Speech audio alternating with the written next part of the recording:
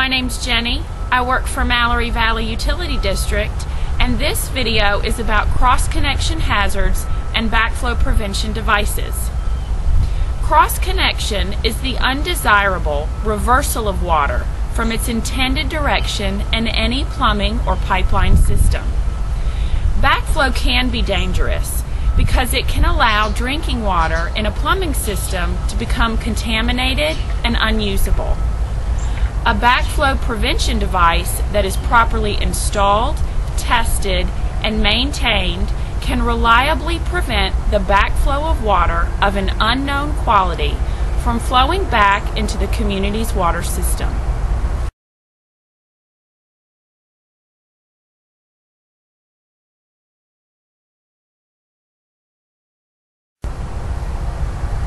The state of Tennessee requires a backflow device to be installed and tested annually for all commercial buildings with domestic, fire, and or irrigation systems, and also on irrigation systems for residential homes. A representative of Mallory Valley will test your backflow device each year. So what is a backflow prevention device and what do they look like?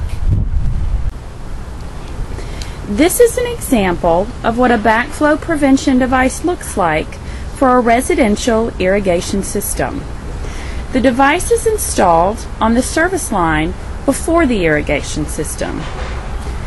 Backflow prevention devices are mechanical plumbing devices installed in a plumbing system to prevent water from flowing backwards. And a backflow device will prevent the backflow or reversal of water from the customer side of the water meter through and into the public water supply. This is an example of what a backflow device looks like for a commercial building. While it's much larger than those for residential use, they are intended for the same purpose, to prevent the reversal of water or back siphonage into the public water system. Unprotected cross connections are prohibited by state regulations and plumbing codes. The state of Tennessee's Division of Water Supply requires all public water systems to operate an ongoing program to protect the public water supply from contamination.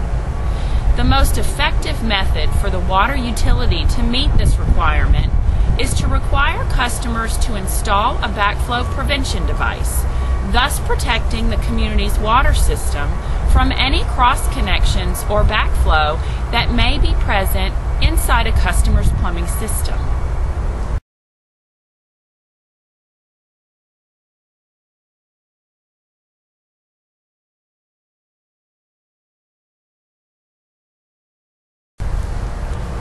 All water users benefit from an active, ongoing cross-connection program. More information on backflow prevention is available through our website, www.mvud.org. And each year, Mallory Valley will send a pamphlet in the mail to our customers, like this one, with important information about backflow prevention. If you have any questions, please call your local water department